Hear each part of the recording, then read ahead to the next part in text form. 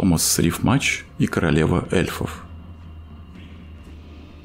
Поэт, певец, музыкант и провидец второй половины XIII века Томас Лермонт по прозванию Рифмач почти так же легендарно знаменит, как Нострадамус, французский врач, алхимик и величайший прорицатель. Родился Томас Рифмач, по всей вероятности, в местечке Эрсельдун, ныне именуемом Эрлстон, на юго-востоке Шотландии. Местность эта крайне примечательна. Там протекает река Твит, одна из главных рек Шотландии. На ее берегу, неподалеку от Эрлстона, расположено Мелросское аббатство, где по преданию похоронен Майкл Скотт. Еще одна знаменитая личность – литератор, алхимик, астролог и маг, живший в XII веке. Вальтер Скотт, знаток шотландской старины, отмечал, летописи 13 столетия ознаменованы были именами трех великих шотландских волхвов, пред коими Нострадамус и Мерлин должны преклонить колено. Мы говорим о Томасе Эрсельдуне, Майкле Скотте и лорде Соулисе. Далеко промчавшаяся слава второго из них перелетела Альпы и засвидетельствована Данте, который в аду отвел ему место между Бонато, астрологом Гвидо де Монтефелтро и Азденте, волшебником пармским. Вальтер Скотт имеет в виду то место из божественной комедии Данте, где упоминается Майкл Скотт. А далее к югу от Твида раскинулись знаменитые Элдонские холмы, под которыми, как гласит легенда, покоится король Артур со своими рыцарями – 200 лет назад местные жители еще указывали на разрушенную башню, которую считали резиденцией Томаса Рифмача. Достоверных фактов о жизни Томаса Лермонта сохранилось мало. Так известно, что прославился он при короле Александре III, как непревзойденный бард и прорицатель. Предсказания Лермонта дошли до наших дней, и многие из них исполнились, за что он получил другое прозвище – «Правдивый Томас». По некоторым данным, история рода Лермонтов известна с XI века. Король Малкольм III якобы пожаловал за помощь в разгроме Макбета некоему Лермонту имение Дарси. Ныне это деревушка в нескольких километрах от городка Сент-Эндрюс. Член английского парламента А. Лермонт в 1873 году письменно подтвердил, мы некогда были владельцами поместья Дарси. Считается, что владельцами Дарси Род Лермонтов был вплоть до Томаса Лермонта. Очевидно, что пророчества Томаса обеспечили ему определенное политическое значение.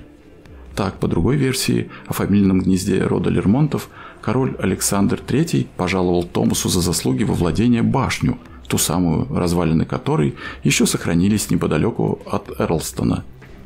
Знаменит также Томас Рифмач и как автор одной из версий Тристана и Изольды – Поэт-историк Роберт де Брюн, ему было лет 6-8, когда Томас скончался, отзывается о стиле рифмача самым восторженным образом. Тристан написан таким цветистым языком и таким сложным размером, что теряет все свои достоинства в устах обыкновенных министрелей, которые чуть ли не в каждой строфе что-то пропускают в ущерб и смыслу и ритму отрывка. Томас покинул этот мир в последнее десятилетие XIII века – Осторожное словосочетание «покинул этот мир» заменяет краткое слово «умер» по вполне определенным соображениям.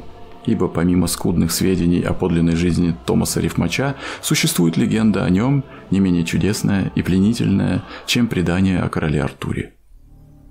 В эльфийской стране. Легенда гласит, что пророческим даром Томаса наградила королева эльфов. А дело было так. Однажды ясным и теплым утром по заверению авторитетных людей, скорее всего, это было 1 мая, которое кельты считали началом лета, праздник Бельтан. Томас Лермонт, прихватив свою арфу, отправился к Эйлдонским холмам. Там он прилег под деревом, именуемым, соответственно, Эйлдонским. А надо сказать, что знаменитое дерево это было, как считают, березой, росшей над рекой Твит. Именно под Эйлдонским деревом и посещали Томаса впоследствии его пророческие озарения – так вот, лежал себе Томас под березкой и наслаждался пением птиц, шепотом ветра в ветвях и журчанием воды. Как вдруг заслышал Барт совсем иные звуки, вплетающиеся в природное разноголосие. Мелодичный перезвон колокольчиков. Тут Томас узрел всадницу на белом коне, прекраснее которой и представить себе нельзя. Она была разодета в зеленые шелка, в волосах сверкали драгоценные камни, а сбруя коня была украшена самоцветами и серебряными колокольцами. Госпожа эта сияла как солнце, и не мудрено, что поначалу Томас принял ее за Деву Марию и обратился к ней как к Царице Небесной. Но прекрасная дама поспешила разубедить Барда, сказав, что ее королевство находится в других краях, ибо она королева Эльфландии. Очарованный Томас стал молить эльфийскую королеву о любви. В конце концов, она уступила мольбам рифмача, предупредив его, однако, что за дар любви он должен будет последовать за ней в Эльфландию и семь лет служить ей. Не колеблясь, вскочил Томас на коня позади прекрасной королевы, и они пустились в путь. Королева показала ему три дороги. Ты видишь узкий трудный путь, меж терней в глубине лесной, путь добродетельных его пройти немногим суждено. А видишь ли обманный путь, меж лилий, что цветут в лесах, тропа неправедных, не верь, что это путь на небеса, а видишь ли чудесный путь меж папоротников холмы, тропа в эльфийские края, где в эту ночь должны быть мы. Вальтер Скотт, Томас Рифмач, перевод Н. Прохоровой. Далее королева предупредила, что Томас должен хранить молчание все долгие семь лет, которые он проведет в эльфийской земле. Томас выполнил ее условия. Семь лет для него пролетели как три дня. Когда настал момент прощания, королева сама проводила Томаса до границ Эльфландии. Она дала ему яблоко, сказав, что после того, как Томас съест плод, его уста никогда не произнесут никакой лжи. Все, что он теперь скажет, будет чистой правдой – так наградила эльфийская королева Барда за семь лет службы. Он был опечален разлукой с прекрасной своей возлюбленной, но она утешила, что разлука не вечна. Когда наступит время Томасу покинуть этот мир, она пришлет за ним своих посланников. Вернувшись в родные края, Томас Рифмач вскоре прославился как пророк – Дважды по семь лет прошло с тех пор, как Томас и королева расстались у границ Эльфландии, и вот однажды жители Эрсельдуна стали свидетелями чудесного события. По главной улице деревни величаво шествовали белоснежные олень с оленихой. Сразу же решено было послать за Томасом прорицателем. Едва услышав об этом, Барт сказал «Настал мой час». Взял свою арфу и ушел вслед за оленями. Более на этом свете его никто не видел, а вскоре прошел слух, что эта эльфийская королева присылала за рифмачом своих посланников. Предсказания Томаса Свои знаменитые предсказания правдивый Томас делал в поэтической форме. Эти зарифмованные пророчества дошли до наших дней, причем многие из них уже исполнились. Так однажды один из графов Куйминов назвал правдивого Томаса Томасом Лжецом – Позднее рифмач сложил стих, в котором предсказал Куймину, что тот упадет с лошади, сломает себе шею, и собаки будут гладать его кости. Это предсказание в точности исполнилось. И граф самым печальным образом подтвердил правдивость прорицателя. Предсказал Томас Лермонт и кончину короля Александра III. Как-то граф Марч, собираясь на охоту, послал за Томасом, чтобы тот предсказал ему погоду. И Томас изрек – а завтра в полдень буря взовьется. Ведать не ведала ранее Шотландия, что столько крови прольется. Охоту отложили, однако следующий день выдался на редкость спокойным и солнечным. Горченный граф стал пенять Томасу, мол, где же твоя буря?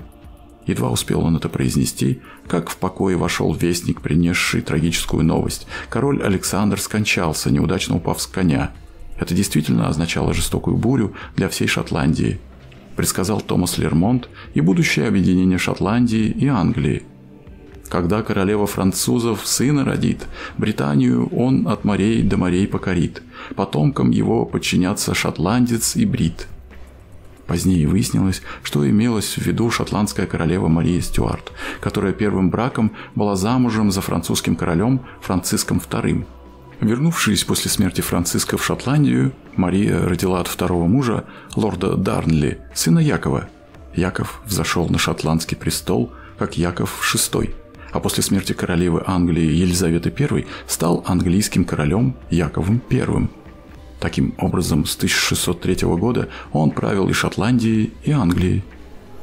Все предсказания Томаса Рифмача сбылись, кроме одного – когда коровы Гаури выплывут на сушу, настанет судный день по нашей душе.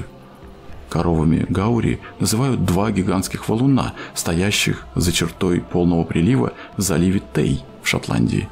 Каждый год они дюйм за дюймом приближаются к земле, так как море отступает.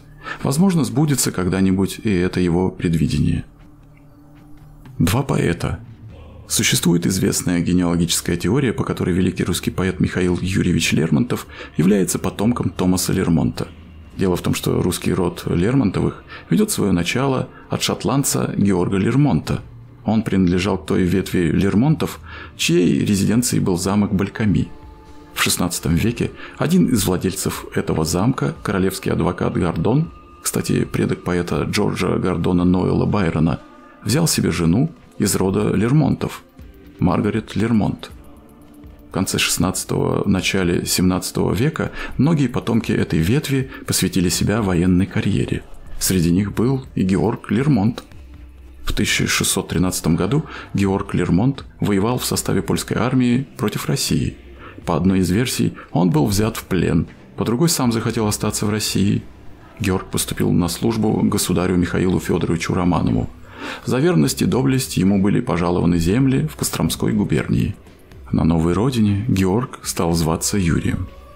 В начале 1634 года ротмистр рейтарского полка Юрий Лермонт погиб под Смоленском. Один из его сыновей, Петр, впоследствии воевода Саранский, в 1653 году крестился в православную веру. Вот род Лермонтовых от Георга Юрия Лермонта по прямой линии. Петр Юрьевич, Евтихий Петрович, Петр Евтихевич, Юрий Петрович, Петр Юрьевич, Юрий Петрович и, наконец, Михаил Юрьевич Лермонтов. О Томасе Рифмаче Михаил Лермонтов знал по балладе Вальтера Скотта. Лермонтову нравилось думать, что, может быть, знаменитый шотландский бард и прорицатель был его далеким предком.